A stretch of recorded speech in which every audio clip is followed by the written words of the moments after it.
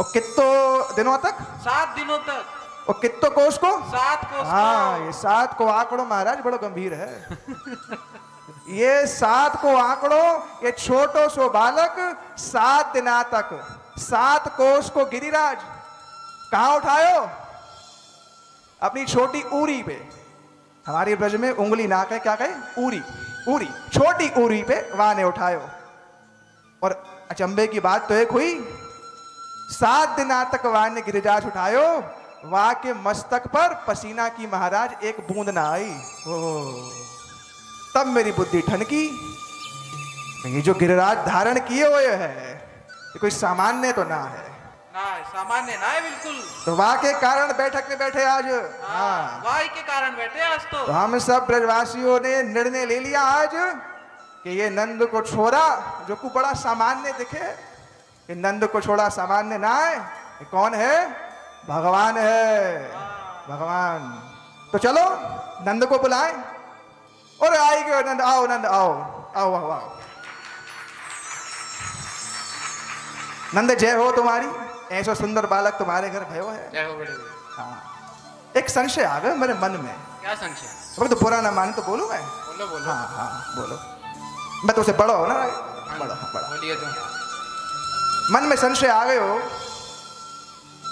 कि इस सात वर्ष को बालक ने सात दिन तक गिरा धारण कियो। सब ब्रजवासी फटी फटी आंखन तो देख रहे हो वहाँ को हाँ देखो। तो सात दिना तक वहाँ ने गिरिराज उठायो और मैं तो नारायण को नाम ले रहे हो कैया की पूरी सड़क की तो सब मर जाएँगे। हाँ। तो मैं तो नारायण को नाम ले रहे हो, भैया, या बालक को शक्ति दो छोटो सा बालक है। सातवें दिन जब वहाँ के माथा पर पसीना की एक बूंद ना आई तब मैं सोचो हो हो ये तो परम ब्रह्म हमारे यहाँ भयो है। हम गरीब ब्रजवासन के घर ये परम भगवान आया है। यही लगो हम सबको तो यही हाँ लगो। तो ताके आते हम तो उसे एक बात कहें कि भैया वहाँ की अभ्यर्चना कर वहाँ को पतासा भोग लगा वहाँ की आरती कर वहाँ का जूता चप्पल जो तो उठावे है ना एक काम चलते रहो तो सर पे जूता चप्पल पड़ेंगे, भगवान है वो। कृष्ण और भगवान, अरे, क्या बोल रहे हो? भगवान तो सबसे शक्तिशाली होते हैं। उनका तो सुबह उठा भी नहीं जाता है बिस्तर से, और शक्तिशाली की बात भगवान की बात करते हैं। और तो और, भगवान तो आत्मतुष्ट होते हैं, और उसकी उनकी तुष्टि की बात कर लो। सुबह उठते ही कहता है, मैया, मोका माखन दे दे। दूध दे दे मैं तो रोटी ही दे दे। अरे तू अरे तू वहाँ से कहा करावे है? और वो मुखरा मुखरा उस दिन आई मैं अपनी आंखन से देखियो ये परम ब्रह्म भगवान को बोला बोले ए जा मटकी उठा। अपने छोटे छोटे हाथन तो गयो और मटकी उठायो। मैं वो बात समझ में ना आ रही है महाराज जो सात दिन तक गिरिराज धारण किए वहाँ से मटकी काहे ना उठ रही अरे वो तो गर्गाचार्य जी जब कृष्ण का नामकरण करने आए थे तभी उन्होंने मेरे को गौशाला में बताया था कि जब भी ब्रज पर आपत्ति आएगी तब तब कृष्ण में नारायण के गुण प्रकट हो जाएँगे। ओ जय बात। जय बात। नंद बुद्धिमान है तू? भाई हम बूढ़े बात हम बूढ़े बजवासी हमारी बुद्धि में तो ये बात आई नहीं। अभी तो तुम तो बूढ़े हो गए हो सारे। तुम्हें तो चार डुबकी गंगा में और चार डुबकी यमुना में लगा हाँ, लेनी चाहिए। हमें तो यही करना चाहिए भैया। और हाँ हाँ दो दिन पहले सुना, इस साथ के गाँव में, पारसोली में जाकर के, या ने जाकर के माखन चोरीला की। आप तो दर्शन करना चाहेंगे? देखना चाहेंगे? ठाकुर ने माखन कैसे चुराए हुए आए रहे, आ जाओ भैया, आ जाओ आ जाओ, चलो। बोलो, कृष्ण कन्हैया, लाल की जय हो।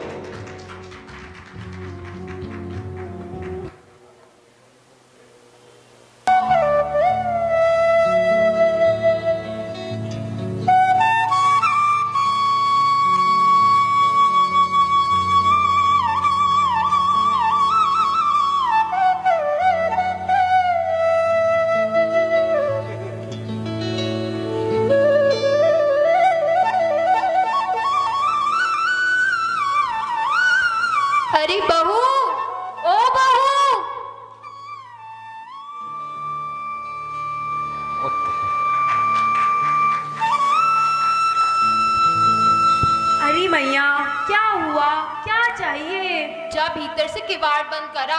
अरे, रुक रुक, कान खजूरी। पूरी बात सुनती तो जाया कर। जा भीतर से किवाड़ बंद करा और जरा छत पर चढ़कर देख। कोई खिड़की खुली तो ना रह गई। अरे मैया, छत की खिड़की व किवाड़न को बंद करके कौन सा सोना चांदी छिपाना चाहती हो? मेरे ब्याह को तो 25 साल हो गए और तेरे घर में मिला ही क्या है मेरे को? ये एक कटहल का पेड़ और ये दो चार गायें और एक तेरी भोली सी शक्ल। वाह वाह। अरे चुप कर अपनी सास से सा- अब वो लगाएगी जबान। जब मैया क्या कही जा रही हो? अच्छा ये बताओ ऊपर जाने के लिए किस लिए कह रही थी? नंद के पूत को जानती है? माता जी आप जानते हो नंद के पूत को? आप तो जानते ही होगे। प्रभु जी आप जानते हैं? महाराज जी आपको तो वाकई पूरी खबर होती होगी। वाह की पूरी खबर है पूरे ब्रज में उत्पाद मचा रखा है। किसी की मटकी फोड़ दे किसी का बछड़ा खोल दे कहीं दही कीच मचा दे। और अगर कुछ ना मिले तो पता है क्या करता है? ब्रज की नार ही छेड़ देता है। राजा का बेटा है तो क्या हुआ? अरे मैया, तुम तो ना राय का पहाड़ बना के रखती हो। मैंने वहाँ पूरा इंतज़ाम कर रखा है। पता है, सखाओं की टोली के साथ कहीं भी पहुँच जाता है। और समझता है, ब्रज की नार तो भूली है, कुछ ना कहेगी। अगर वो शेर है ना तो मैं भी सवा शेर हूँ। घर में घुस के तो उस कारे को गोरा ना बना दिया तो कहियो। जमी पे पाँव रख ज़्यादा फुदक मत। ब्रज में किसी के हाथ आने ना है वो। और अगर किसी के हाथ लग भी जाए तो ये सब हो रहे बने हैं जैसे कुछ किया ही ना हो। ध्यान रखियो मैं सुस्ता के आती हूँ। हाँ हाँ मैया तू सुस्ता के आ। मैं वाकई खबर लेती हूँ।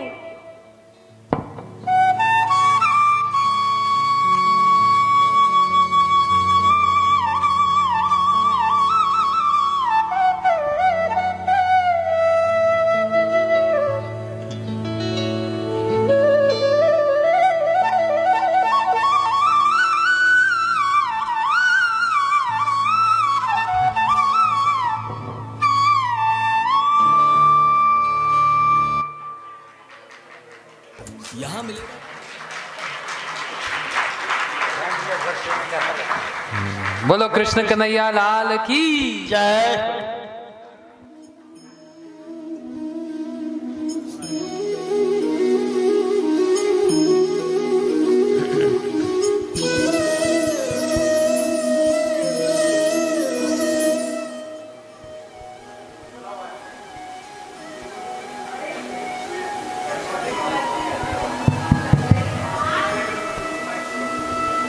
अरे बालक जंगल में क्या खवाऊं तुम्हें?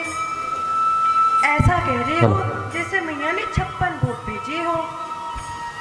अरे कृष्ण कछु तो खवाई दे बहुत भूख लग रही है। अरे पेड़ फूल घास खा लो ना। अरे कृष्ण अरे कृष्ण गैयाओं के पीछे पीछे चलते मेरी टांगन में भी जान ना रही। कृष्ण कछु तो खवाई दे कृष्ण।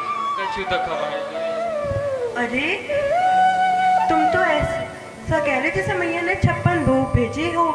अरे ये सब खा लो जो पत्ते फूल हैं। अरे गैयान के पीछे चल चल के बुद्धि बढ़ाई गई है तेरी। अरे बुद्धि तो इसकी बुराई की है जो मेरे से जंगल में ऐसा प्रश्न पूछ रहे अरे बूढ़ो सखा से ऐसे बात करे कोई? अरे सामने घर देख रहे हो। हाँ। अरे अब ईट मिट्टी खावन को विचार है का? अरे वहाँ से नज़रें हटाओ। हाँ? हाँ? हाय हाय हाय हाय हाय ये तो गोबर पड़ा हुआ है यहाँ पर। अरे वो नहीं वहाँ देखो माता प्रभावती क्या कर रही है? ओ, माता प्रभावती ने ढेर सारू माखन निकालो है। संसार का सबसे स्वादिष्ट माखन। हाय कृष्ण अब रोए नहीं जा रहे कृष्ण। ऐसा माखन जो जीप पे रखते ही खत्म हो जाए। अरे कृष्ण अब। अरे मैया ने देख लिया तो डंडे पड़ेंगे। अरे कृष्ण अब डंडे पड़े चाहे गोबर के कंडे अब तो माखन चुरा के रहेंगे कृष्ण। अरे कृष्ण पर हमने तो अभी अभी इतना सारो माखन खायो है। अरे कितना भी माखन खायो है मेरे लिए तो कम ही है। अरे ददी- चलो फिर। ददी जाओ देख कर आओ मामला साफ़ है या नहीं?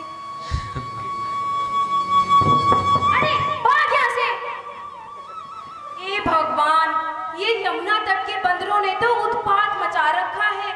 कहीं भी पहुँच जाते हैं। इनके कारण इस ब्रज में कछु भी सुरक्षित ना है। और तो और तुम्हें पता है, वो नंद महाराज का बेटा, हो हो।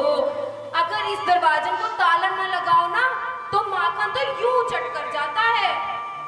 अरे प्रभावती, वो इतना सुंदर टिको है कि वो उसे डांट भी नहीं पाती। हाँ हाँ होगा वो सुंदर पर मैं अब उसकी चिकनी चुपड़ी बातों में ना आने वाली अब तो मैं उसे दंड दिलवा कर ही रहूँगी।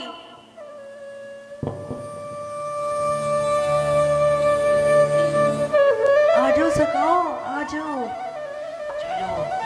चलो चलो अरे धक्का काय दे रहे हो? अरे महाराज वह माखन के युद्ध हो जाए धक्कों की बात कर रहे हो तू नेक धीरे धीरे चलो। अरे धीरे धीरे चलो धीरे धीरे। गोपी है गोपी माखन मिल जाए वहाँ के बाद स्वर्ग से धार जाऊँ मैं बस बहुत हो गए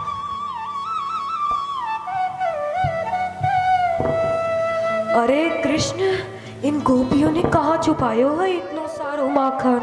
इतना खतरा गले लेनो तो व्यर्थ ही गयो हम्म, इन गोपी ने माखन कहीं और ही छिपायो है। कृष्ण असंभव। कृष्ण के होते हुए कुछ भी असंभव नहीं। अरे कर तुम कर तुम अन्यथा कर तुम। या या सब कुछ संभव हो जावे। अबे कहा कर रहे हो?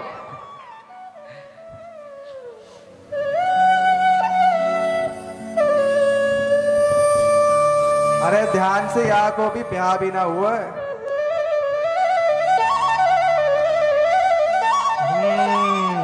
हम्म, आओ जल्दी जल्दी आओ जल्दी आओ आओ हम्म, তাড়াতাড়ি করবেন তাড়াতাড়ি করবেন कृष्ण इतना स्वादिष्ट माखन जी करता है इसमें नहा लो कृष्ण अरे। राज का पुत्र हूँ जितना चाहे उतना माखन खाओ। अरे लाला क्षीर समुद्र के विषय में भागवत ने तो बहुत सुनो। यहाँ तो क्षीर समुद्र प्रकट हो गए बट टूट फोड़ो ज़िंदगी बन गई मेरी तो। वाह। अरे कृष्ण। अरे कृष्ण। हाँ, बड़ा अरे कृष्ण मज़ा ही आ गयो मज़ा ही आ गयो। इतना स्वादिष्ट माखन। अरे गोपिया छेन गोपिया छेन। दौड़ करी दौड़ करी अरे